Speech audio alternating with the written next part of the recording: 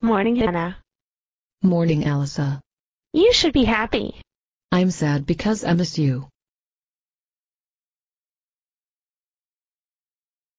What's going on Hannah Stucky? My friend Alyssa fainted when I told her I missed her.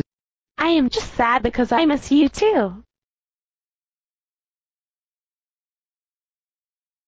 I think you guys will be okay. You should just hang out after school. What a wonderful idea. These girls will be fine. Best friends? Best friends. Let's go hang out. Okay, I'm coming.